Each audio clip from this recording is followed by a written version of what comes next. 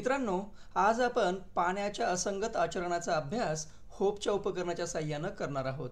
यासाठी आपल्याला होपचे उपकरण बर्फ मीठ दोन तापमापी व पाणी लागणार आहे. हे आहे होपचे उपकरण. या उपकरणात धातूच्या उभट नळकांड्यास मध्यभागी एक पसरट गोलाकार भांडे जोडलेले असते.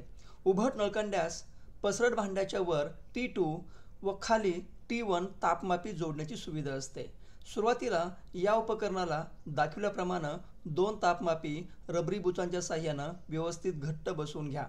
आता उभट नळकांड्यात नेहमीच्या वापरातील साधे पाणी भरून घ्या. उपकरणाच्या पसरट भांड्यात बर्फ व मीठ यांचे गोठण मिश्रण चोह बाजूने भरून घ्या. पसरट भांडे गोठण मिश्रणानं पूर्ण भरेल याची काळजी घ्या.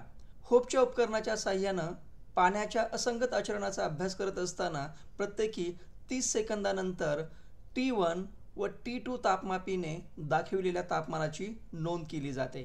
तापमान वाय अक्षावर आणि वेळ एक्स अक्षावर घेऊन आलेख काढतात. दिलेल्या आलेखावरून स्पष्ट होते की प्रारंभी दोन्ही तापमापी समान तापमान दाखवितात. नळकांड्याच्या खालच्या भागातील पाण्याचे तापमान टी वन जलद गतीने कमी होते तर वरच्या भागातील पाण्याचे तापमान टी टू तुलनेनं हळूहळू कमी होते.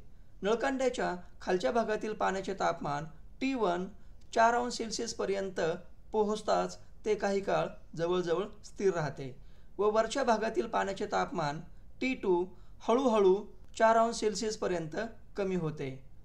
यामुळे एकाच वेळेला टी वन आणि टी टू चार अंश सेल्सिअस तापमान दाखवितात. त्यानंतर मात्र वरच्या भागातील पाण्याचे तापमान टी टू जलद गतीनं कमी होत असल्यानं वरची तापमापी प्रथम शून्य सेल्सिअसची नोंद करते.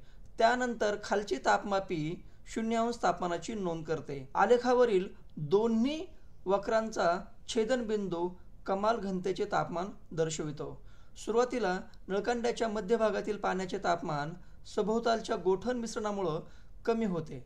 नळकांड्याच्या मध्यभागातील पाण्याचे तापमान कमी झाल्याने त्याचे आकारमान कमी होते त्यामुळे त्याची घनता वाढते. परिणामी जास्त घनतेचे पाणी खाली जाते. या कारणामुळे खालच्या भागातील पाण्याचे तापमान सुरुवातीला जलद गतीने कमी होते. नळकांड्याच्या खालच्या भागातील तापमान जेव्हा चार अंश सेल्सिअस होते तेव्हा त्या पाण्याची घनता सर्वाधिक असते.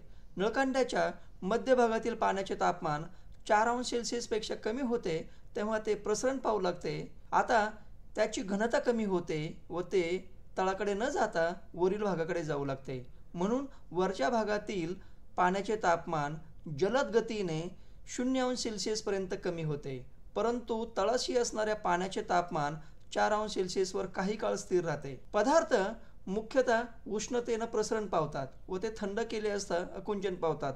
पाणी याला अपवाद आहे. पाण्याचे तापमान चार अंश सेल्सिअसच्या खाली गेल्यानंतर ते अकुंचन न पावता प्रसरण पावते. यालाच पाण्याचे असंगत आचरण किंवा पाण्याचे असंगत प्रसरण म्हणतात. पाण्याच्या या असंगत आचरणामुळे थंड प्रदेशात वातावरणाचे तापमान शून्य अंश सेल्सिअस किंवा त्यापेक्षा कमी होऊन सुद्धा ते तेथील जलीय सजीव जिवंत राहू शकतात. कारण वरच्या पातळीत जरी पाणी गोठून बर्फ झाले तरी खालच्या पातळीमध्ये जास्त घनतेचे पाणी द्रव स्वरूपात असते व अशा पाण्यात माशांसारखे जलचर प्राणी सहज जिवंत राहू शकतात. पाण्याच्या असंगत आचरणाचा आणखी एक परिणाम म्हणजे थंड प्रदेशात हिवाळ्याच्या कालावधीत पाणी वाहून नेणारे पाईप फुटतात तसेच तेथील खडकांना भेगा पडतात. कारण पाण्याचे बर्फ होताना त्याचे आकारमान वाढते व या वाढीव आकारमानामुळे पाईप फुटतात. व याच कारणामुळे खडकांना पाण्यापासून निर्माण झालेल्या बर्फामुळे दाब वाढून भेगा पडतात. मला खात्री आहे ही माहिती तुम्हाला नक्कीच आवडली असेल. आभारी आहे.